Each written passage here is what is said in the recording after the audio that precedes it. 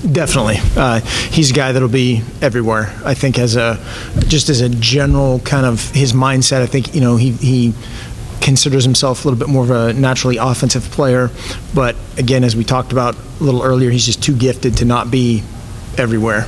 Uh, obviously, including in special teams as a returner, as a cover guy, uh, and and uh, the defense is still trying to to fight for him.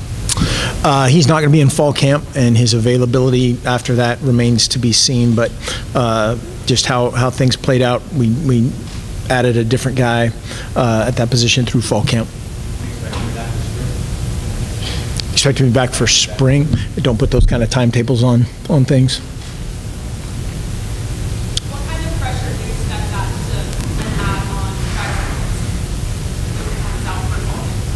What kind of pressure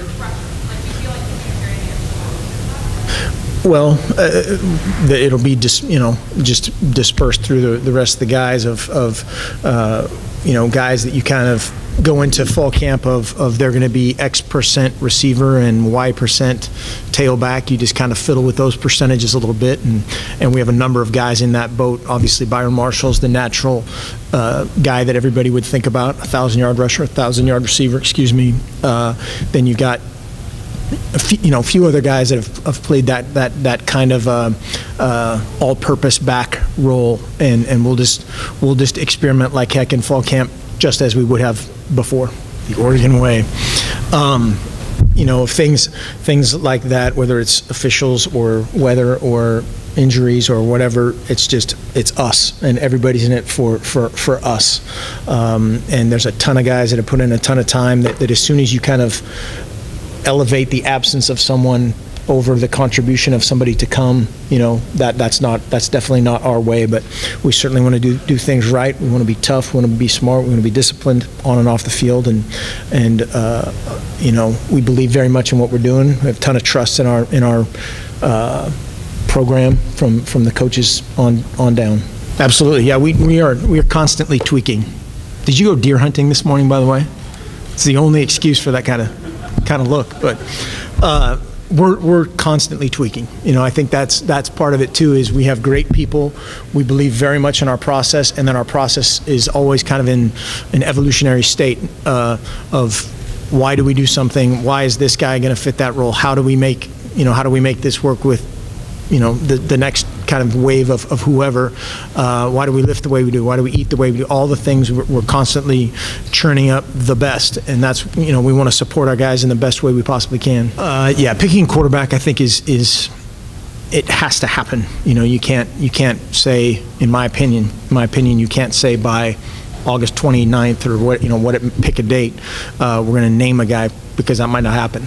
That has to, to play out. It's kind of like leadership. You know you can't just say okay Ronnie, Johnny, and Danny, you guys are the captains. That that doesn't work.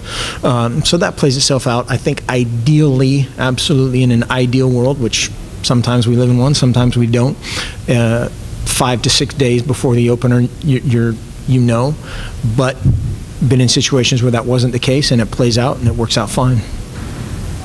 Coach, what are you looking for most in a quarterback? Scoring.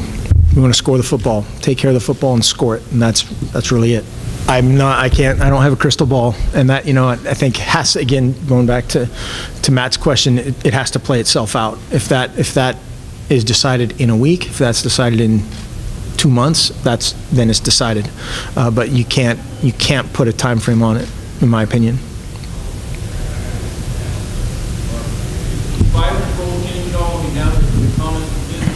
I the go back and play more running back? Do you know, itself out?